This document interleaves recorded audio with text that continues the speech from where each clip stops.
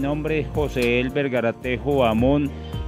La finca se llama El Trío, la marca del café se llama El Trío porque está a una altura de 1800 metros sobre el nivel del mar. Las propiedades de la, del, del trío, la marca es porque es rica en agua, en sol y buena tierra.